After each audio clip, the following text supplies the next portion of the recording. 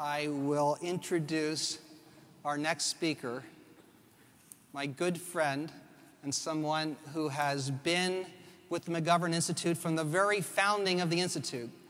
Jerry Fischbach, who served on the McGovern Board of Directors from the very earliest days, helping guide the creation of this institute, the running of this institute. I've even heard through back channels that Jerry was important in getting me here to the McGovern Institute. Jerry, uh, I have to, uh, and, and one of the reasons he's a friend is not only because he's been on our board, but we overlapped at the NIH. I was a scientific director in the, in, in the National Institute of Mental Health when Jerry was the director of the Neurology Institute. Of course, you know, you're in the government for a long time. You get used to everybody in a position of power is Dr. No, right? Whatever you want to do. No, can't do that. What, can't, do that? No, can't do that. Doc, Jerry was Dr. Yes. Jerry came in, and whatever we said, said, you know, we need a new way of doing science here. Yes, let's do it we, Jerry said, we, why are we working in these old decrepit buildings? Let's get this changed. No, Jerry, can't do that. No. And Jerry would always, Jerry would get it done. Jerry, and he didn't just do this at the NIH, he did this every place he went throughout his career. He, um, sorry, so you can, you, can do, you can disconnect that. He was, at, he was at Harvard Neurobiology, he was at Washington University, uh, and now he's, done, he's doing the same thing at the Simons Foundation. It's just really incredible what he has done with the Simons Foundation and their Autism Initiative to put together just a spectacular research program in an area where people might have thought that that kind of progress just could not be made in such a short period of time. Um, I have lots of other detailed notes on uh, Jerry's career, but I think I will actually not delay him any further, uh, we, uh, please a warm welcome to Jerry Fischbach.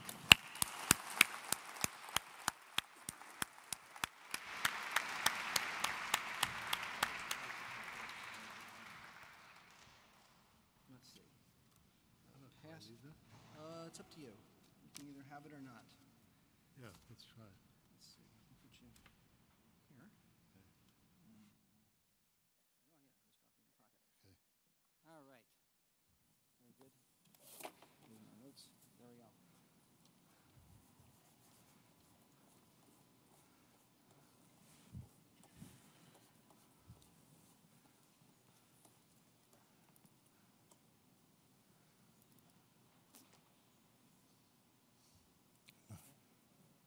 To the first one.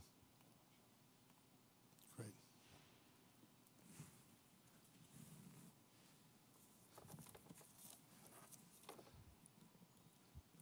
So thanks very, very much, Bob, for both the invitation and that introduction.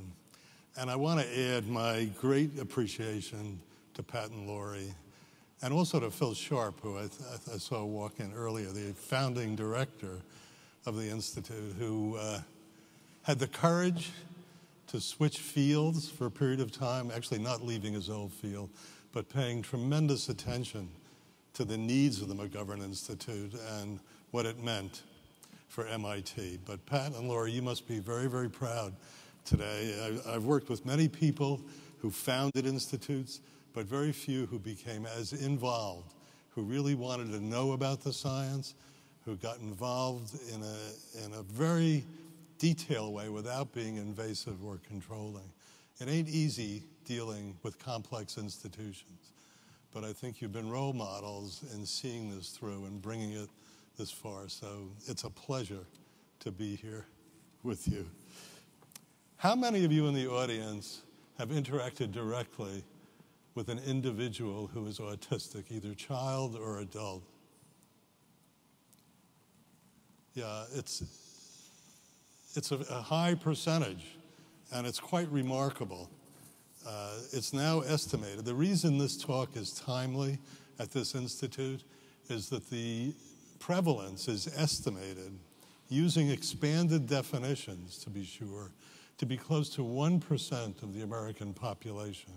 Almost 1 in 100 individuals are on the autism spectrum, at least as defined by current criteria.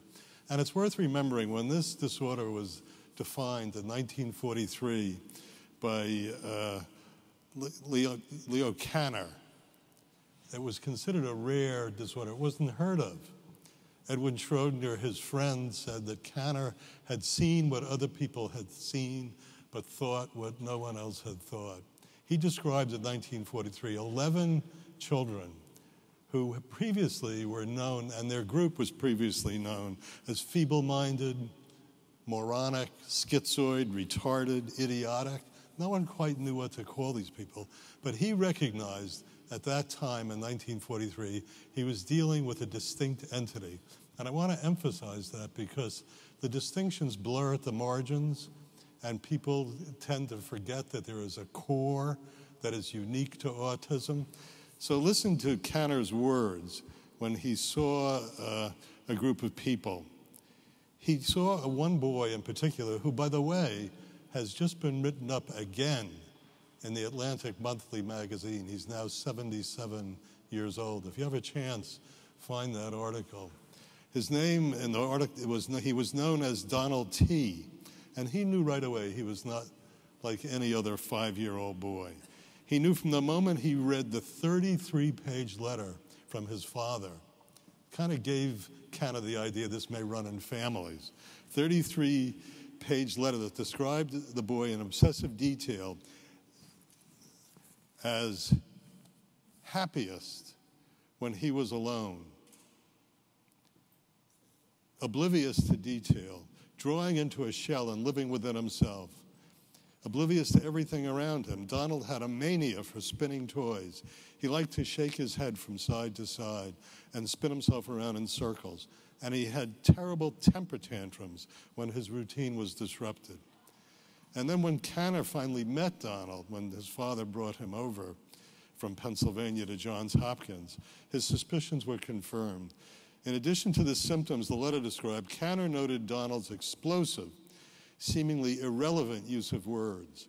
Donald referred to himself in the third person, repeated words and phrases spoken to him, and communicated his own desires by attributing them to others. So this is the picture that Kanner saw. It's the picture that's true today. It's expanded on the margins. The APA, the American Psychiatric Association, has expanded the definition with each issue of its manual of psychiatric disorders. So the incidence has grown from one to a thousand, maybe 15 years ago, to one in a hundred today. I believe it's more awareness and recognition of the disorder. I do not believe we're in the midst of an epidemic. I believe that this was this incident was probably true uh, many years ago, but people ignored these children. The, uh, Uh, I've summarized this, the phenomenon as aloneness and sameness. And the next issue of the Diagnostic and Statistical Manual of the American Psychiatric Association will talk about autism spectrum disorders, focusing on these social interactions, but with dashes autism spectrum disorder with epilepsy, autism spectrum disorder with intellectual disability. And I want to come back and talk about that later. Autism spectrum disorder with a number of other things, language disorders. But there is a core, and it's this social cognition. In some ways, if you can imagine what it must be like to go, like to go through life without understanding what the people you are with are thinking, you have no way of gauging whether they're angry or sad or happy. The compensations you must undergo to really live in that environment. People have called this a lack of a theory of mind. And it's, it's quite debilitating.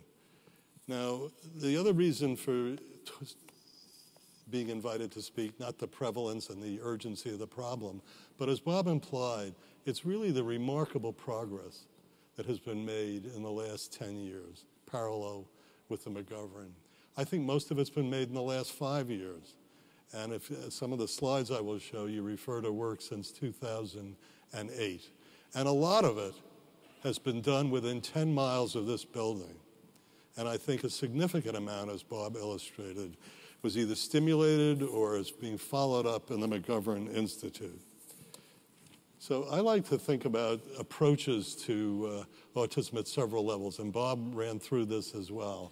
At, at the genetic level and understanding the molecular, cellular biology of these genetic risk factors, how are these genes working in the nervous system? And then also at the level, the payoff level, the really important level, is understanding what they are doing to neural circuits in the brain and to uh, cognition and behavior probably the most difficult of all levels to study. I don't know if you can see this. I, uh, lighting is difficult in the room, but when one, when one wants, can I go backwards here? No. Yeah. When one wants to study genetics, there are many, many different approaches. So you have to place your bets. What we did at the Simons Foundation was bet on a certain type of genetic change called a copy number variant. And it turns out that all of us in our genomes don't have exactly two genes, one from our mothers, one from our fathers. There are some variants, and these variants arise during the maturation of germ cells, sperm and eggs. Sometimes you don't inherit two genes, you only get one. Sometimes you don't inherit two genes, you get three or four because the, these genes have been copied during the formation of the germ cells. Now, some of these deletions are innocuous, they just make us different from one another. Why I'm different from Bob, a little more handsome, I think, mature at least. But why you're all different is, is this enormous, and it's become evident since 2004 that there is enormous difference in the copy number that you have in your genome and how you're different from your neighbor, how you're different from your parents. You're not exact copies of them. And here's an example of one that's particularly important in autism, and this is a bit of science, so I will try and walk you through it. If you march from left to right on this curve, the investigation is, is trying to test how many copies of the DNA in this region from left to right do two individuals have? And on the average, they have two when compared with the normal population. But one individual here has only one copy, as you can see that falls below the baseline. And one individual has three copies. This work was done by Lauren Weiss uh, and, by, and people at Children's Hospital in Boston and at the Broad Institute with the MIT connection. And this particular copy number variant is not neutral. 40%, uh, 40 to 50% of individuals with this variation, usually it's the deletion, 40% of individuals with that deletion will be autistic. So this is what's called a highly penetrant genetic variation. It's not quite as penetrant as sickle cell anemia, but it's much more penetrant than many other disorders where the gene adds a small increment to the risk. This is a big risk factor. And this particular deletion has turned out to be one of the most common uh, that have been uncovered to date. None of the deletions are, are more than 1% of the autistic population.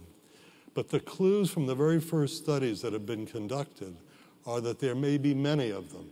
There may be a hundred such deletions, which are real autism risk factors. They're not neutral. And our job is to find them and identify them. So individually rare, altogether perhaps common, and highly penetrant. So we feel that in the last three years, we and many other people around the world are onto something by looking at these copy number variants.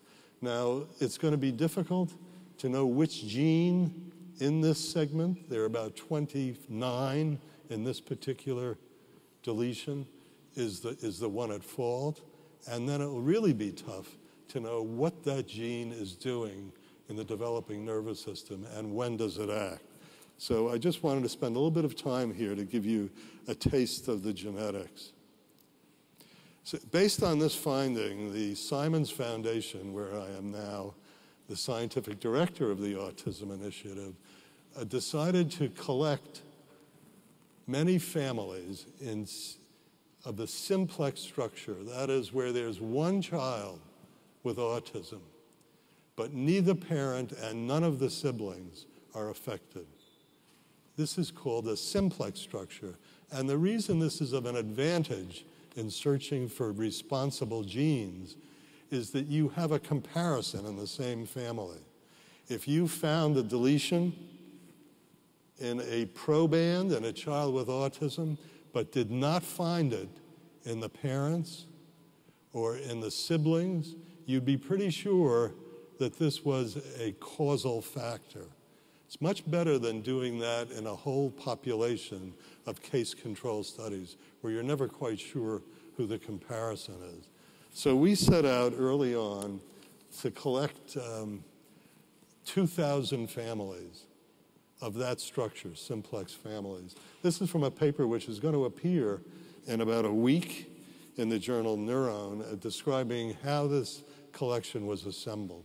And I'm sure you won't be able to see the next slide, but uh, we're quite proud of the fact that, can you see that?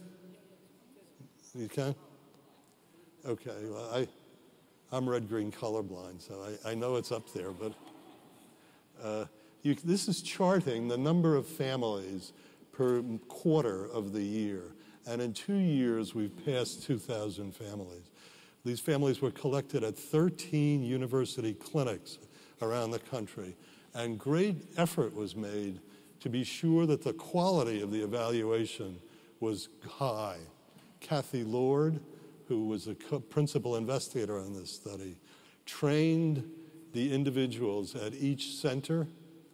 We evaluated their progress, how they were doing, and we shared information with them month by month to assure best practices. And to have this rapid accumulation is very gratifying. And we're trying to decide where and where will it end. This is not cheap.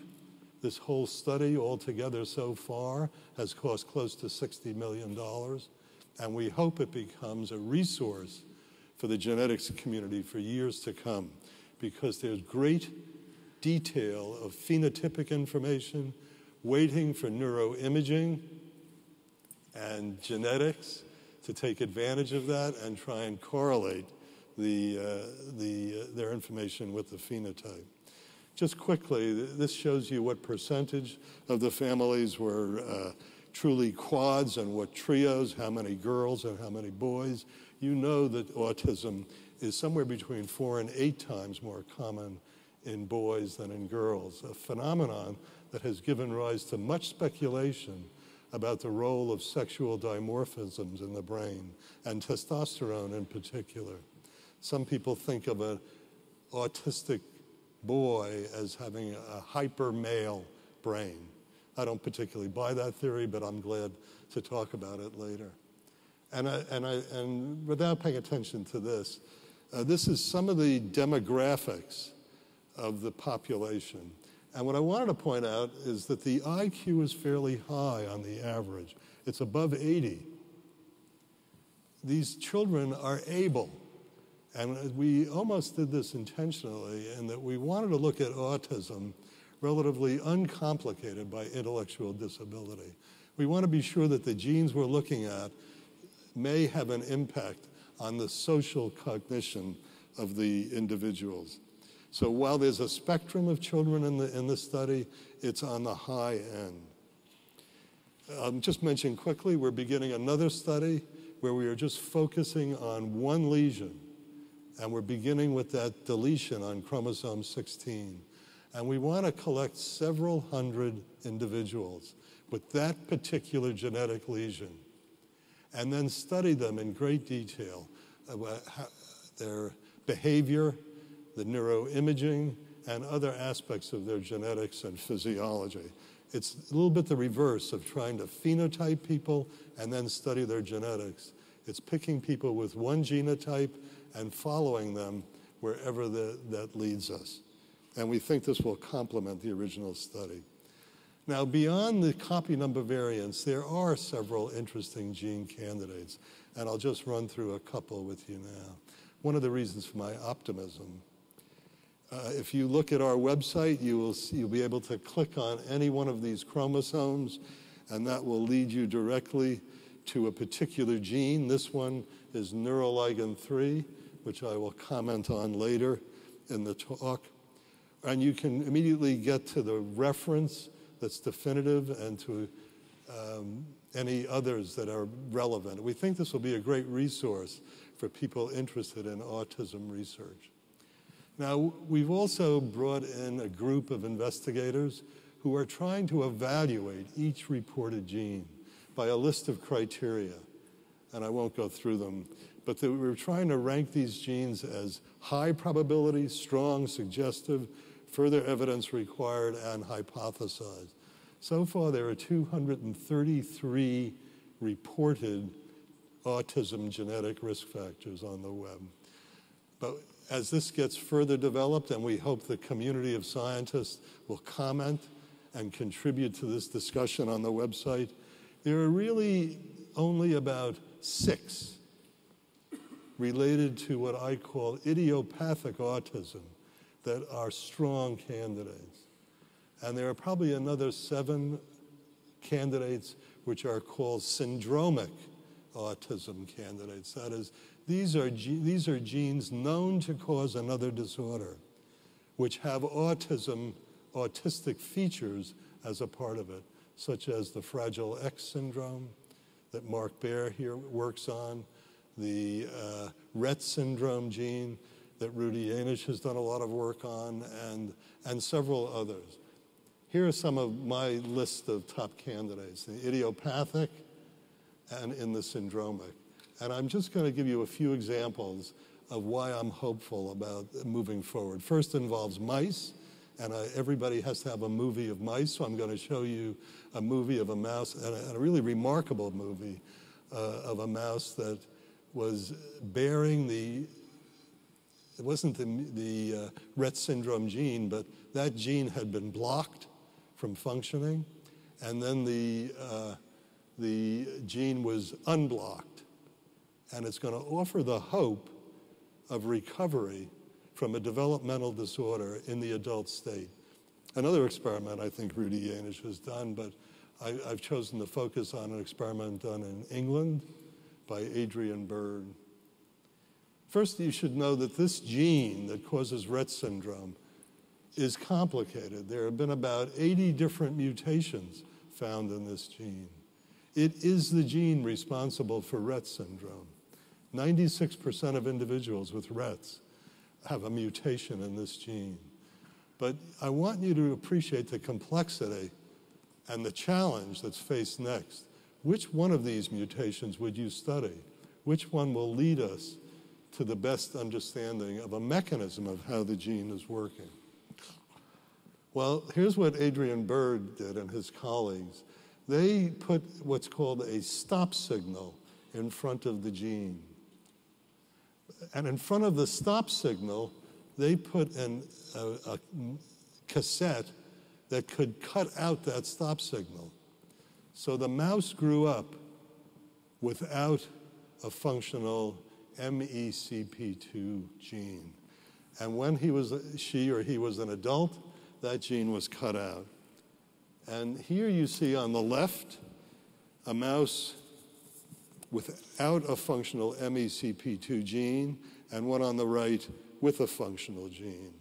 Now, this mouse does not exhibit the kind of social behavior you would expect of a Rett syndrome child. But my view is you take what the mouse gives you.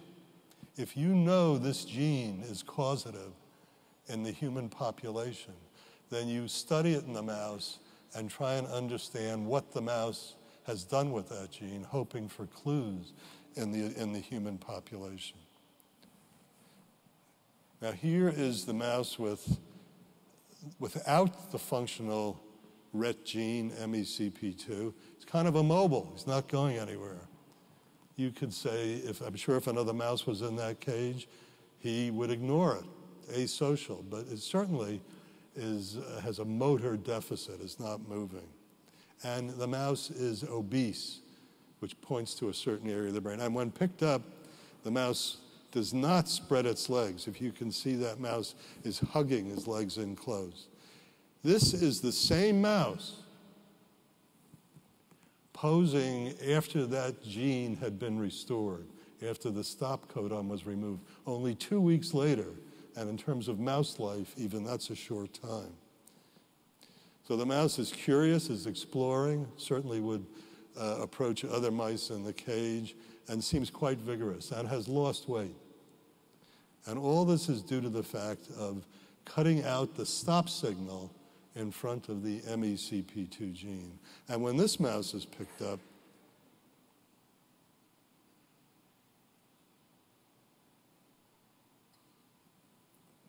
as he will be any moment, you can see his rear legs are splayed, and this is the normal reflex in a mouse, which is quite disturbed in the Rett mouse. So that needs to be understood. The motor systems need to be understood, the immobility, and the indifference to the environment. And it's a very important clue. I do want to say a word about Fragile X syndrome since I believe this is the best inroad to therapy of this class of developmental disorders that we have. And a lot of that, again, is due to the work in Mark Bear's lab. Fragile X encodes a, encodes a protein that uh, influences messenger RNAs out near synapses, the, the contacts between nerve cells that uh, Bob talked about. And when Fragile X is, is broken, when it's mutant, the, the formation of these proteins is, goes on out of control. And many of these proteins have deleterious effects. There are a couple of double negatives in here, so stick with it if you can. What Mark had discovered working in an entirely different area is that a certain surface membrane receptor, a receptor for glutamate, actually could interact with the FMRP mechanism, with the fragile X protein mechanism. And it could turn down the synthesis of the same proteins that were turned up in Fragile X's absence. So he and now many other people have begun looking for ways in the absence of FMRP to block the action of this glutamate receptor called the metabotropic glutamate receptor. And I think the first reported results are that in selected populations, this may be an effective therapy, an antagonist to a glutamate receptor to treat a disorder which was previously, and I say previously meaning the last two years, thought to be untreatable. And I find that a hopeful sign.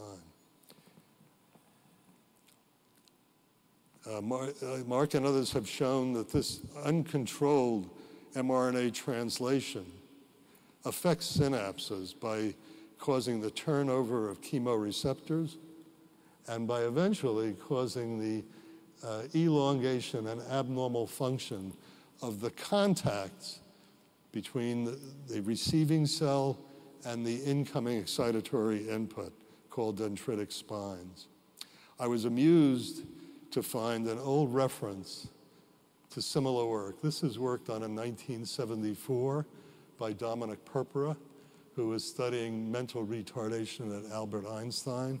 And he drew these pictures from stained neurons. And he remarked that these spines, these extensions from the dendritic shafts of neurons, looked abnormal. They looked too long and thin, and they were sparse compared to uh, the dendrites from individuals who were normally functioning.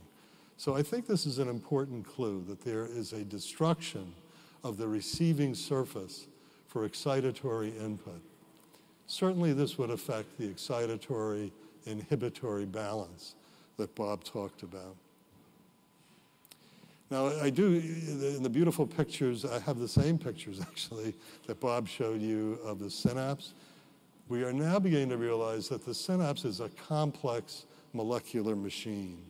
And this picture, which you've seen once today, from an article by Morgan Sheng, a former member of the uh, Department of Brain and Cognitive Science and the Picower Institute here, shows you the work of several investigators that reveal the, the beginning. It's certainly much more, this, this is now six years old. I'm sure there are twice as many new protein molecules, new gene products at this synapse.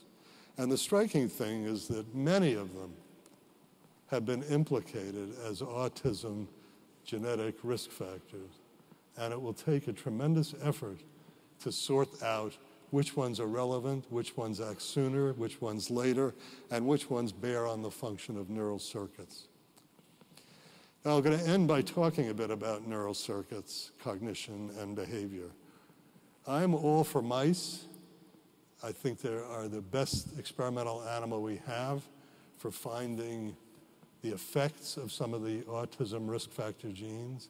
I'm also in favor of flies and worms and frogs because they each will contribute important information. But I believe that in the next decade, we will be the prime experimental animals for studying autism. This is a uniquely human disorder. The ability to understand each other, to know what we are thinking. And in the end, we need to develop theories and models which will account for the link between genes and behavior. Not just models, but models that can be disproved in the jargon of Karl Popper. There are many, many models, too many, but we need to focus. It's not enough to say autism is a disorder of synapses or autism is a disorder of connections. Of course it is. We need more specific hypotheses about autism and how this relates to social behavior. Well, a lot of work done here, this is a, from a paper by Nancy Kanwisher and Rebecca Saxe, have begun to point out regions of the brain that are particularly active in the performance of social tasks. There are many other people working in this area, and I, I don't, I don't believe they do, mean to say that this is a strict, restrictive localization. These are the only areas of the brain involved in social cognition. But certainly they're pointing to regions that are particularly active in the uh, superior right temporal gyrus, the medial inside part of the hemisphere, and the inferior temporal gyrus, the fusiform gyrus, are, have been found in study after study to be affected in, in individuals who have difficulty in social interactions. This is from a meta analysis by Uta Frith and her colleague in London, where she's looked at different things how individuals monitor the actions of others, their own self knowledge, their own person perception, mentalizing, and outcome monitoring. And in each case, the, the medial part of the hemisphere, above the anterior cingulate gyrus and the medial frontal lobe, seem to be more active. So my bet is that when we have gene candidates and circuit mechanisms, these areas will be particularly opportune to study. If, I, if my next step was to make a slice of the brain and study it in a dish, I would take a slice from one of these areas. And I think many people uh, are beginning to agree with that. I do want to mention one other phenomenon because it's so striking, even though it is a bit controversial, but it, it gets at the kind of thing we need to know about. And this is the phenomenon of mirror neurons, described by a group in Italy, but now being studied worldwide by Rizzolatti and colleagues. Now, what you're looking at here is a monkey. You know, what you don't see is there's an electrode in the monkey's brain through a platform on his skull. And that electrode is listening to the discharge of a nerve cell. Those little vertical bars are firings of a nerve cell. It's a very focal recording uh, of one nerve cell at a time. And every time that monkey reaches for something on the table, this is one trial, a second, a third, that same nerve cell discharges. Now, the amazing thing that Rizzolatti found was that when the monkey is watching someone reach for the same object, the very same nerve cell discharges over and over again. This is not a different nerve cell, it's the same nerve cell. So this nerve cell discharges when the monkey executes an action and when he observes an action. And Rizzolatti has gone much further than that. I don't think we have time to talk about. This is a type of understanding of the action, a neural correlate that the monkey can understand what the experimenter is doing. And I must say, there's evidence from young children that there are, you can test growing up, even when they're in the early stages, three, four, five months old, that if you can convince that child to pay attention, and some children do and some don't, and ask and, and encourage them to reach and touch an object, that they will then smile when their parent or someone nearby reaches for that same object. But the children who do not reach, who do not pay attention, and do not themselves reach for the object, seem to ignore the people who are also reaching the object. This is a work of uh, women in uh, South Carolina. Now, here's an example where it does apply to humans, where Rizzolatti has recorded from a muscle used for chewing.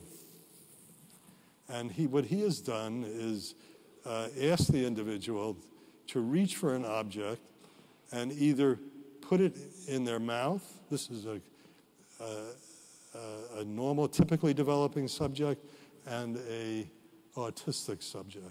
To put it in their mouth or put it in a container, same motion, near their mouth, but put it on the shoulder next to the mouth. And of course, you can't record a single nerve cell from the brain of a human individual. So he used the discharge of these muscles as a surrogate for the outflow of the nervous system. And what you can see here in the normal subject, when that individual is reaching for an object, that muscle begins discharging, even begins discharging before the, the individual actually moves his arm. It's in anticipation.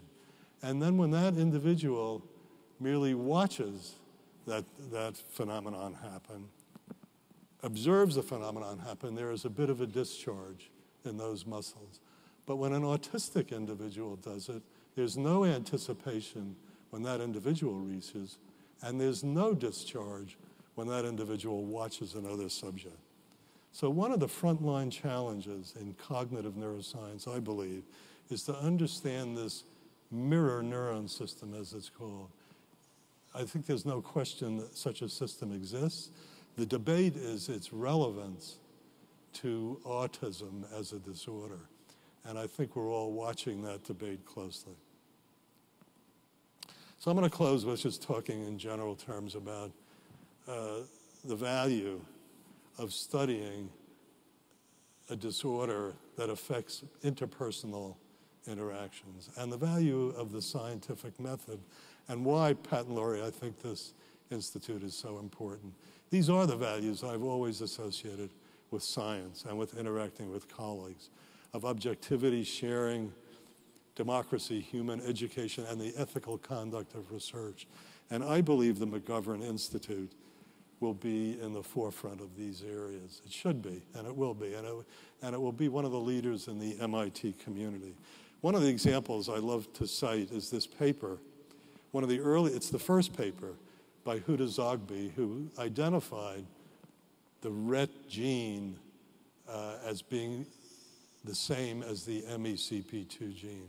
The reason I like this is several fold. One, the first, uh, one you have to realize Huda Zoghbi herself is an immigrant from Lebanon, went to medical school in this country, spent several years during the Israeli Lebanese, first Israel Lebanese war, living in a bath, not several years, sorry, one full year, living in the bathroom at the American University of Beirut because it was too dangerous to go home from the university to her home.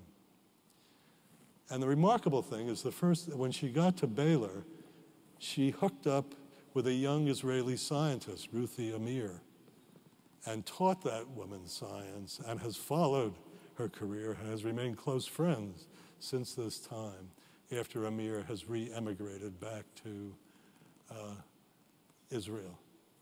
Now, if that can happen between individuals, it should be able to happen on a larger scale. The other thing I would like to point out in this is that uh, five of these six authors are women, and this paper was submitted on a certain date and accepted six days later. So that's not a bad role model to follow. Second point, which I get emotional about, is that we, although we are talking a lot about translational research, and I have become a strong advocate for this, about the need to apply our results. You can never forget how these results originate in disinterested, curiosity driven research. And there are few places on this globe as good as MIT to promote both. This, the, the, neuroligin story, which has led to two convincing autism risk factors, and through the neuroligins to, to about six or seven others, including the Shanks, began with a black widow spider, with an individual, Tom Südhof, studying the venom of this spider. Because this venom caused the outpouring of neurotransmitter from synaptic terminals. He didn't know anything about autism at the time. Was about 15 or 20 years ago when he began this work. But subsequently, he isolated this venom, the principle in the venom. He isolated the receptor for it, which turned out to be Neurexin, and he isolated the partner for Neurexin, which turned out to be neuroligin.